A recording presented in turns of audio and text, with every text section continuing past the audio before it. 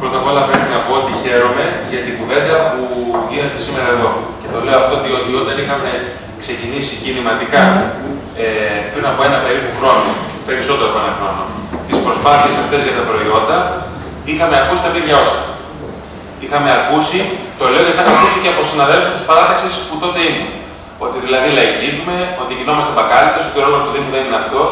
Χαίρομαι που τα πράγματα και η σκέψη οριμάζει και πραγματικά καταλαβαίνουμε όλοι ότι ο ρόλος του Δήμου είναι να είναι δίπλα στο Δημότη και να ενισχύει και να συμμετέχει στις κλιματικές πρωτοβουλίες. Και αυτή η κλιματική πρωτοβουλία σε όλη την Ελλάδα έχει δώσει, εγώ το πιστεύω βαθιά, ένα πλήγμα στους μεσάζοντες. Και αν συνεχιστεί, θα δοθεί μεγαλύτερο πλήγμα και θα βοηθούν περισσότερο και οι δημότες μας. Λοιπόν, η εισήγηση της κυρίας Δημάρχου είναι πολύ καλή. Ε, χρειάζεται όμως να διευκρινίσουμε κάποια επιμέρους ζητήματα, κύριοι συνάδελφοι. Γιατί εγώ διακρίνω ότι υπάρχει μια θολούρα σε κάποιες τοποθετήσεις και θα πω ε, συγκεκριμένα πράγματα που νομίζω πρέπει να αποσαφινιστούν. Πρώτα απ' όλα, εμένα δεν μου αρέσει ο όρος παζάρι. Δεν είμαστε ας πούμε, στο Κάιρο να κάνουμε παζάρι κλπ. Λοιπόν, ε, μια υπαίθρια αγορά. Είναι άλλος ο προσανατολισμός και η έννοια της λέξης παζάρι και άλλο υπαίθρια αγορά. Λοιπόν, έχω δει σε, σε χώρες Σκανδιναβίας υπαίθριες αγορές που ήταν εξαιρετικές. Έτσι. Και έχουμε δει και σε χώρες του του κόσμου παζάρια που είναι το κοσμικά. Καλό θα είναι λοιπόν να έχει μια ποιότητα και ένα επίπεδο και να μην είναι παζάρι, να είναι αγορά υπαίθρια. Στο πλαίσιο αυτό λοιπόν θέλω να πω ότι η μίμηση είναι κάτι θετικό. Η μίμηση είναι καλό πράγμα και η αντιγραφή ιδεών. Έτσι. Και η τραγωδία μίμησης πράξεως είναι. Η απομίμηση δεν είναι καλό πράγμα. Το λέω αυτό γιατί υπήρξαν στοιχεία απομίμησης στις προσπάθειες του Πύρονα. Είναι άλλο πράγμα ο Πύρονας, είναι άλλο πράγμα ο Άλμος. Και εξηγούμε. Η μουσική που έπαιζε τα τραγούδια αυτά που έπαιζε δεν ήταν απαραίτητο να υπάρχει. Γιατί υπάρχει περιπτώσει μπορεί και κάποιοι άνθρωποι να κοιμούνται, είναι γιατί πρωί. Πρέπει δηλαδή να τους βάλουμε το τσάμικο από τις 10 η ώρα το πρωί, 9 η ώρα το πρωί, ο άλλος να ξυπνάει με το τσάμικο, θέλει δεν θέλει. Ωραίο. Ωραίο πράγμα είναι, αλλά είναι για το παλικύρι ε, τη μέρα της γιορτής. Ή το για το βράδυ, δεν βλέπεις 9 ώρα το πρωί τσάμικο ακόμα δεν έχει ξυπνήσει. Θέλω να πω λοιπόν ότι μπορούμε να, να, έχουμε, να έχουμε μια ποιότητα και να μην αυτό που κάνουμε. Τώρα, επί της ουσίας της διοργάνωσης.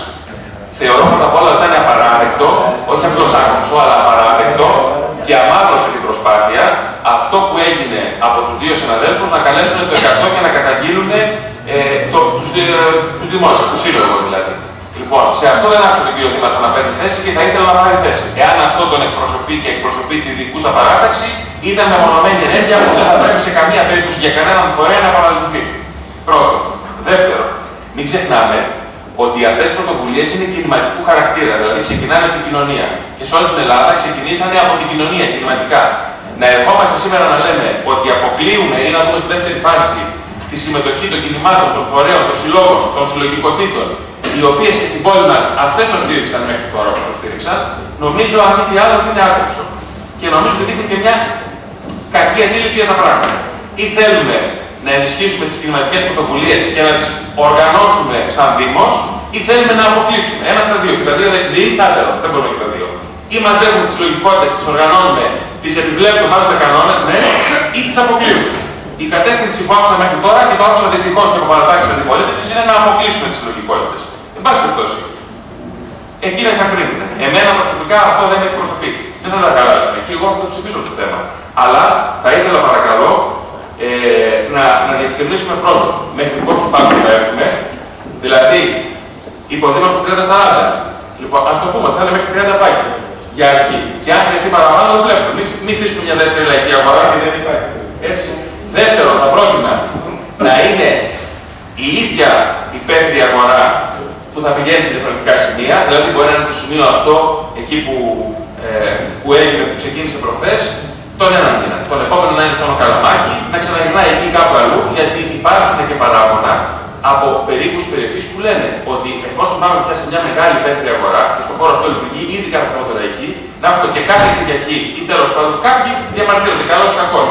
Επειδή είναι και ένα βάρος και μια εξυπηρέτηση αυτή η αγορά, καλό είναι να την πάμε και σε άλλα σημεία. Μπορούμε καταρχήν δηλαδή να πούμε, καταρχάς να πούμε ότι επιλέγουμε δύο σημεία, να τα πω ξεκάθαρα με αυτά, ότι είναι η Ψηλάδου και η ξέρω εγώ, πλατεία Καρέστα στο Καλαμάκι, που ένα μήνα εδώ, ένα μήνα εκεί, να ξέρει και ο δημότης.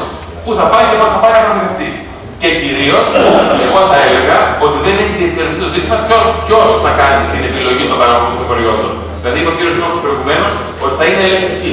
Καλά, την ελεγκτική δουλειά μπορεί να την κάνει και η δημοτική αστυνομία. Δεν είναι απαραίτητο να την κάνει και να πηγαίνουν και πέρα των παρατάξεων και να ελέγχουν ακόμα ποια απόδειξη κάνουν. Μπορούν να το κάνουν αυτό και μπορεί να είναι σε επιτροπή. Κατά την εκτίμησή μου, εφόσον πάμε σε μια ε, πολύ κλειστή και αυστηρή οργάνωση από το Δήμο και εφόσον έχουμε το Δημοτικό Συμβούλιο και καλά έρχεται. Και εφόσον συστήνουμε επιτροπή, η επιτροπή αυτή θα πρέπει να έχει ρόλο ουσιαστικό. Είπε ο κ. Δήμαρχος προηγουμένως δηλαδή ότι τα δικαιολογητικά για τους παραγωγούς που ενδιαφέρονται θα έρχονται στην επιτροπή.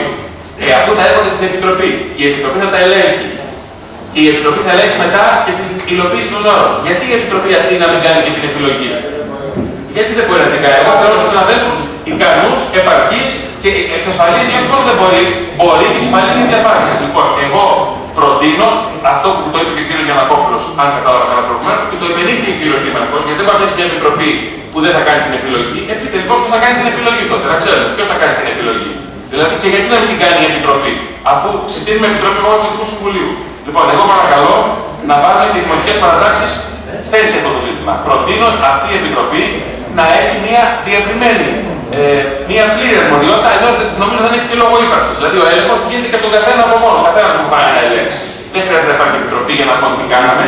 Λοιπόν, εάν θέλουμε να είναι πραγματικά συλλογικά, προσωπικά διαπαραταξιακά, και αφήνουμε τους φορείς στην πρώτη φάση έξω, τουλάχιστον οι δημοτικές παρατάξεις να έχουν συμμετοχή στην, ε, στην Επιτροπή με αποφασιστικό ρόλο και με κριτήρια.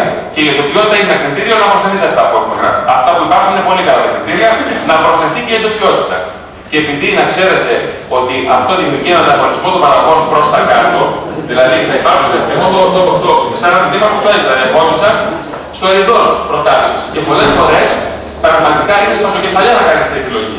Καλό είναι και για λόγους διαφάνειας και εξυπηρέτησης του κόσμου, δηλαδή να πετυχαίνεις όλο και καλύτερη ποιότητα, όλο και φθηνότερη φθηνή, να υπάρξει μια επιτροπή που συνεχώς θα εξεργάζεται αυτά, δεν θα είναι κάτι σταθερό.